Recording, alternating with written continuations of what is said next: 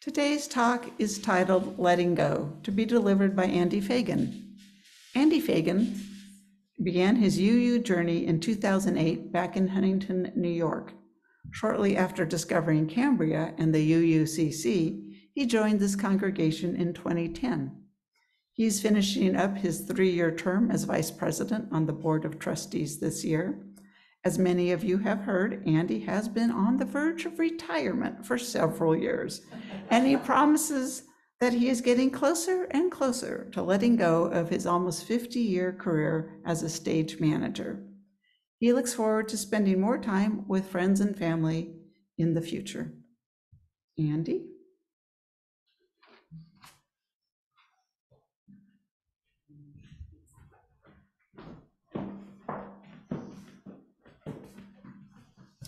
Thank you, Nancy. Hi, everybody. It's good to be back. I've been away uh, almost an entire month. So, if you're fortunate, uh, fortunate to have a long life on this earth, then you'll be inevitably faced with the challenges of letting go. But the good news is, as Thich Nhat Hanh said in our opening words, letting go gives us freedom. And freedom is the only condition for happiness. If in our heart we still cling to anything, anger, anxiety, or possessions, we cannot be free. Anyone who has had a decent conversation with me knows that I've been wrapped up in the process of letting go, letting go of many things, letting go of my New York identity, letting go of a career, letting go of loved ones whose time on this earth has come to an end, and letting go of some beliefs or convictions that put limitations on what I can do and who I am. I've sought and longed for guidance on how to cope with letting go. That search is a big part of what brought me to Unitarian Universalism. And this morning, I'm going to share some of the things I've found so far. I do not come to you this morning as someone who has any of the answers, but as a kindred spirit in the exploration of the mystery. And so let's begin with one of the most meaningful resources I have found. That is the words of John O'Donohue. This from his book, To Bless the Space Between Us. Sometimes the greatest challenge is to actually begin. There is something deep in us that conjures, that conspires with what wants to remain within safe boundaries and stay the same. Years ago, my neighbor set out to build his new home. He had just stripped the sod off the field to begin digging out the foundation when an old man from the village happened to come by. He blessed the work and said, You have the worst of it behind you now. My neighbor laughed and said, But I've only just begun. The old man said, That's what I mean. You have begun. And to make a real beginning is the most difficult act. There's an old Irish proverb that says, A good beginning is half the work. There seems to be a wisdom here when one considers all the considerations, hesitation, and uncertainty that can claim our hearts for such a long time before the actual act of beginning happens. Sometimes a period of preparation is necessary, where the idea of the beginning can gestate and refine itself. Yet quite often, we unnecessarily postpone and equivocate when we should simply take the risk and leap into a new beginning.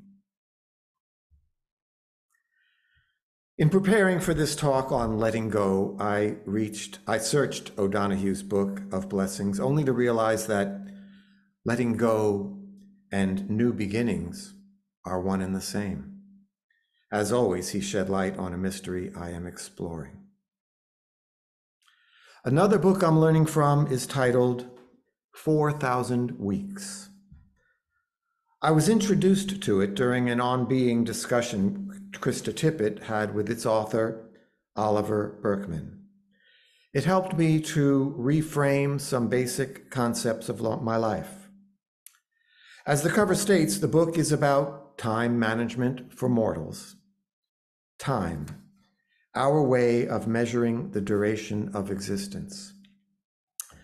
The Merriam Webster Dictionary defines time as a non spatial continuum in which events occur in apparently irreversible succession from the past through the present to the future.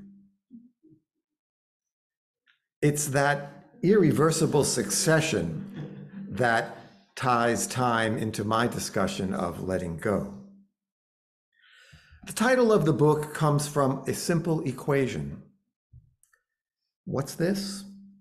Well, with approximately 50 weeks in a year and a reasonable life expectancy of 80 years, apologies to those of you who are well beyond 80, you are all amazing. You can roughly plan on living 4,000 weeks. The author chooses weeks because it's a period of time, well, we understand pretty easily, and 4,000 is a number that we can easily grasp. If, they, if we did days, it would be like 60,000, and years is just 80 ish. As I learned more about letting go and accepting that life will come to an end, I found this simple equation helpful. In a summary of the book, a reviewer stated, we are deluged with advice on becoming more productive and efficient and life hacks to optimize our days. But such techniques often end up making things worse. The sense of anxious hurry grows more intense, and yet the most meaningful parts of life seem to lie just beyond the horizon. Still, we rarely make the connection between our daily struggles with them and the ultimate time management problem the challenge of how best to use our 4,000 weeks. I didn't get to announce my birthday um, last Sunday, but it was November 4th, and I just turned 70. So, I've lived 3,640 weeks, and I can bank, give or take, on 360 more. Yikes. Uh, but instead of freaking out about that, it has brought me to make life decisions based on that number. I can do a lot with 360 weeks, but I don't want to waste any of them. I want to make the most of each of them, and at the same time, let go of each of them as they have passed. And in that light, letting go of my career becomes that much more attractive. Since I know about myself that I can't find the energy and focus to tackle the list of things I want to do while work is drawing that energy and focus away from them. And the book suggests I am working on living each day as fully as I can, as the book suggests, savoring each hour. And then letting go of that day. Deepak Chopra recommends a practice. Before going to sleep at night, have a moment of appreciation for the day. What, what happened during it, what was wonderful, and what could have been better. Let go of each day once it has ended, but cherish what life you've lived. The book asks, quote, what would it mean to spend the only time you ever get in a way that truly feels as though you are making it count? And the author suggests that remembering how little you matter on a cosmic scale can feel like putting down a heavy burden that most of us didn't realize we were carrying in the first place. By remembering how little you matter. Overvaluing of your existence gives rise to an unrealistic definition of what it would mean to use your finite time well. Hmm. And perhaps by understanding our own timeline, we can let go of the unrealistic pressures society puts on us and live a more enlightened life. My father died in June of 2001, just shy of the age of 80, so he got 4,620 weeks. His was a sudden and unexpected passing. My mother was deeply devoted to my dad and deeply in love with him. She lived almost 20 more years to the age of 96. She got 4,995 weeks, but was never able to accept losing him, letting go. She did not want grief counseling or therapy of any kind. I tried my best to offer what guidance I could, but nothing seemed to help much. As her dementia progressed in her last years, I would often find her sitting in a darkened room in the middle of the day, and I'd ask her what she was doing. She would calmly answer, I was talking with dad. To the end of her life, she struggled to let go.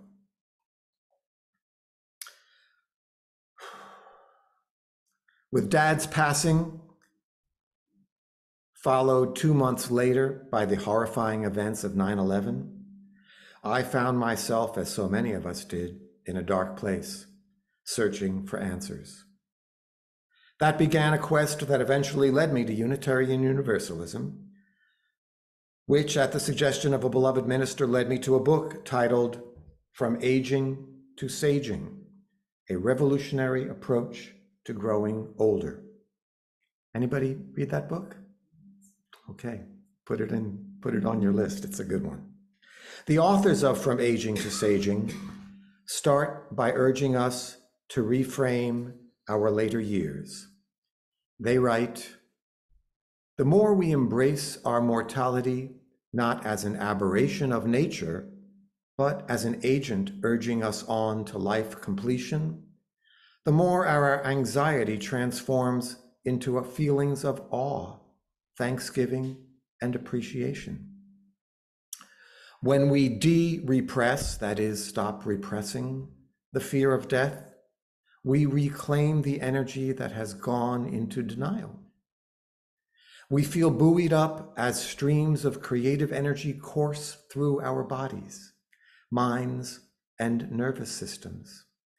By facing a subject that usually depresses and terrifies us, we feel lighter freer, more perceptually and cognitively alive in all our encounters.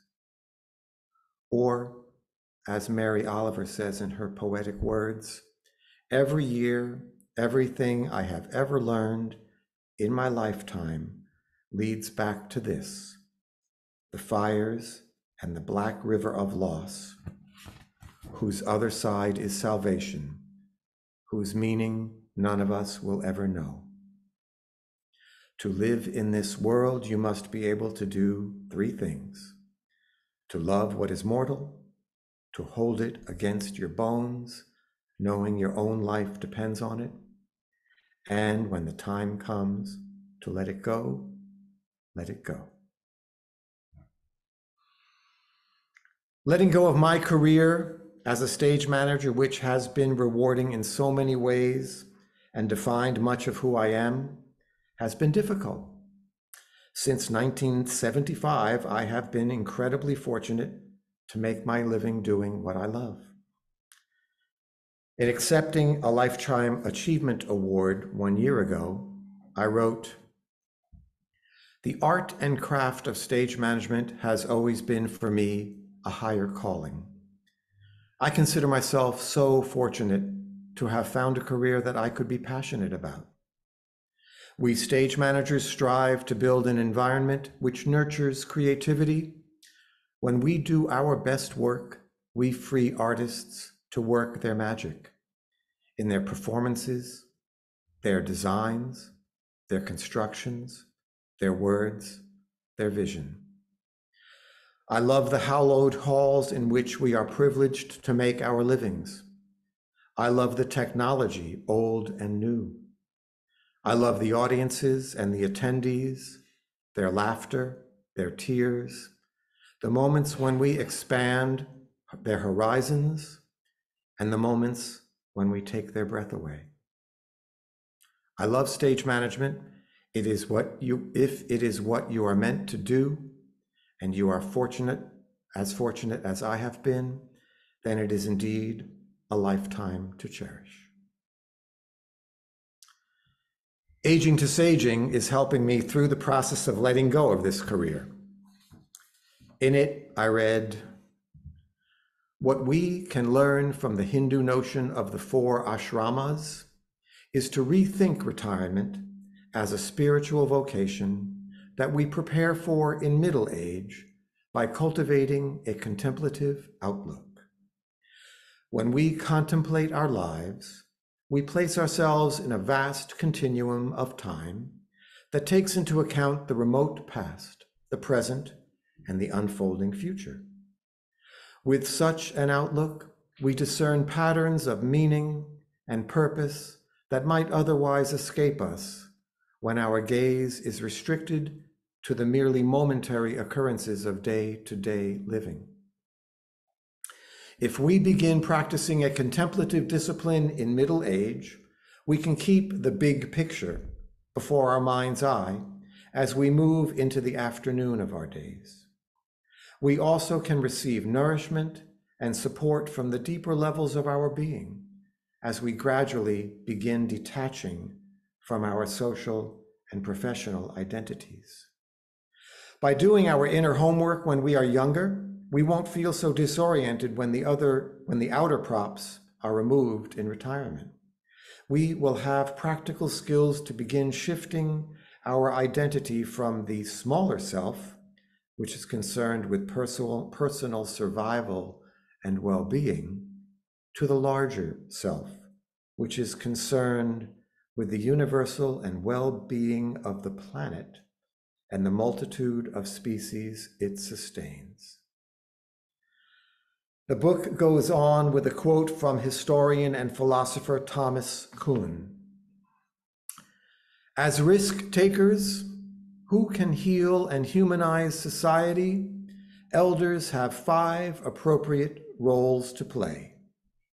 They are mentors who teach the young, mediators who resolve civil, racial, and intergenerational conflict, monitors of public bodies who serve as watchdogs of City Hall and Congress, mobilizers of social change, and motivators of society who urge people away from self interest and toward the public good. These are high aspirations. The book calls this new occupation spiritual eldering, which can be a topic for a future talk. I'll just say that as mentors who teach the young, the first thing we should teach them is that, unlike me, they read this book while they're still young in order to be better prepared for their later years. Let's see. Ah, it's just a minute. Okay. okay. Now for part two. Hi, Margaret. Ah, where was I? Okay. Uh, with the conclusion of a recent annual corporate event that I have stage managed for many years, I spoke directly to the client to say that this would be my last one. That was brave. It took a little courage. I know, I know. Um, that I was approaching retirement.